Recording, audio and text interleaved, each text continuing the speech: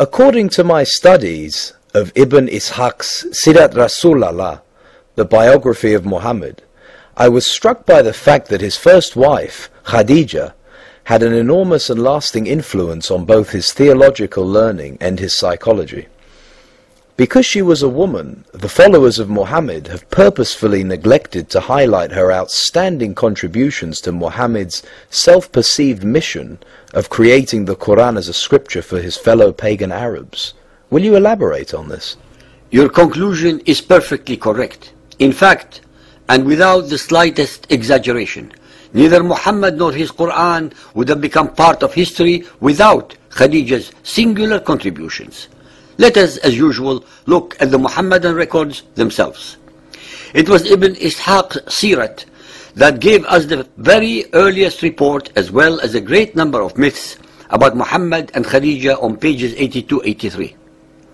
Khadija bint Khuwaylid was a twice widowed, very rich and powerful merchant woman in her 40s when Muhammad was about 25 years of age.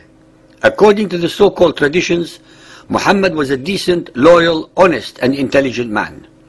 Because of his reputation, Khadija employed him to take her goods to Syria and trade with them, in spite of the fact that the traditions also assert that he was illiterate. After he returned with the merchandise, she was able to sell them at a great profit. It was Khadija, contrary to the male-dominated traditions of the Arabs, who proposed marriage to Muhammad and he accepted. As usual in Muhammadan Islam, Controversy surrounds Khadija's children by her second husband and involves the other daughters or stepdaughters of Muhammad. These daughters were Zainab, Ruqayya and Umm Kulthum. Some historians say that these were Khadija's daughters by her second husband, whereas others insist they were her daughters by Muhammad. This is not very probable considering Khadija's advanced age at the time she married Muhammad. Fatima was the daughter of Muhammad and Khadija. She was Muhammad's favorite daughter. Two boys who died at an early age were Al-Qasim and Al-Tahir. According to the traditions also, depending on which one of course, Khadija was a Hanifiya, that is, one who was neither a Christian nor of the belief of the Jews, but one who believed only in the God of Abraham. Her uncle was Waraqa bin Nawfal, who had converted from paganism to Christianity. It is extremely important that the listener should be made aware that the Christians and the so-called Jews of Arabia were not foreigners, but actually aboriginal and indigenous natives of Arabia who had willingly, without coercion, converted to these beliefs, centuries before Muhammad and his Quran, but were subsequently destroyed and or exiled by Muhammad and his followers. One of the most revealing hadiths regarding Khadija's importance is part of the following when Muhammad allegedly encountered the angel Gabriel for the first time. Sahih al-Bukhari hadith 1.3 narrated by Aisha. Thereupon he caught me for the third time and pressed me, and then released me and said, اقرأ باسم ربك الذي خلق خلق الإنسان من علق.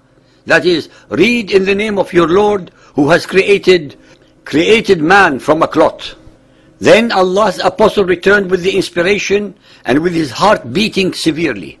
Then he went to Khadija bint Khuwaylid and said, Cover me, cover me. They covered him till his fear was over, and after that he told her everything that had happened and said, I fear that something may happen to me. Khadija replied, Never, by Allah, Allah will never disgrace you.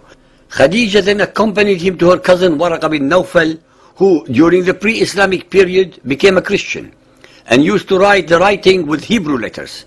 He would write from the Gospels in Hebrew as much as Allah wished him to write. He was an old man and had lost his sight. Khadija said to Waraqa, Listen to the story of your nephew, O my cousin. Waraqa asked, O my nephew, what have you seen? Allah's apostle described whatever he had seen. Waraqa said, This is the same one who keeps the secrets the angel Gabriel whom Allah had sent to Moses. Our listeners should know that the angel Gabriel never appeared to Moses, but to Mary, the mother of Jesus. And if Waraqa was truly a learned Christian, he would not have uttered such incredible drivel. Al-Tirmidhi Hadith 117 narrated by Ali ibn Abu Talib. Khadija asked Allah Apostle about her children who had died in the days of ignorance. Thereupon Allah's messenger said, they are in hellfire. And when he saw the sign of disgust on her face, he said, if you were to see them in their station, you would hate them. She said, Allah Messenger, what about my child that was born of your loins? He said, it is in paradise. Then Allah Messenger said, verily, the believers and their children will be in paradise and the unbelievers and their children in the hellfire. Muhammad, Allah's messenger, showed his usual legendary compassion and mercy by consigning innocent children to hell's fires just because their parents were unbelievers. Al-Tirmidhi Hadith 6181 narrated by Anas bin Malik. The Prophet said, among the women of the universe, Mary, daughter of Imran, Khadija, daughter of Khuwaylid, Fatima, daughter of Muhammad, and Asiya, the wife of Pharaoh, are enough for you. Our listeners should be aware that Mary, the mother of Jesus, was not the daughter of Imran, nor was Asiya the wife of Pharaoh. Neither the Hebrew Bible nor the New Testament mention these falsehoods. The above are the usual concocted stories that were created during the 300 years after Muhammad's death. Not a single story is based on facts or any kind of records that existed among the Arabs. Just pure lies and mendacities. The following view of Khadija can be found in the Shia book Fatima the Gracious. Khadija's financial support had a great role in strengthening Islam during its prime days, when it was still in the formation stage and critically needed material aid. Allah foreordained Khadija's property to help Islam fulfill its goals. Almost all of the stories regarding Muhammad's wives are the product of centuries of later concoctions to create for Muhammad a family identical in its holiness and purity to that of Jesus and Mary. The most important conclusions regarding Khadija's background show that contrary to the perverted picture painted about the Jahiliyyah Arabs before Muhammad's Islam regarding their women are the following facts. Khadija was able to inherit her father's wealth without the interference of any males of her family. That she was able to act as a merchant without any male's permission. That she was a very successful merchant in her own right, independent of any male. It was she who proposed to Muhammad instead of the traditional other way around.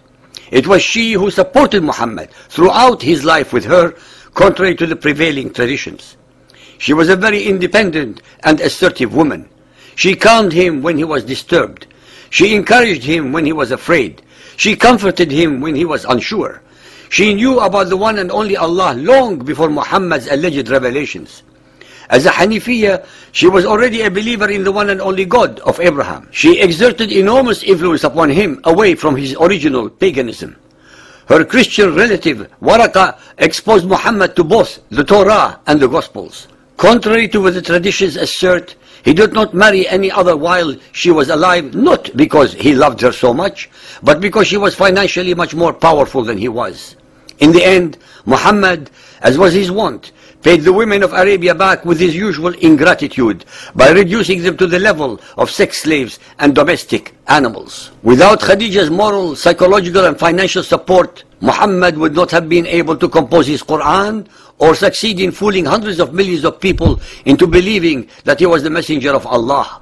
In fact, the female followers of Muhammad should revolt against all the oppressive, terrorizing and humiliating man-made rules and regulations, especially those who live in the Western democracies, and throw away the shackles of enslavement that have been put around them.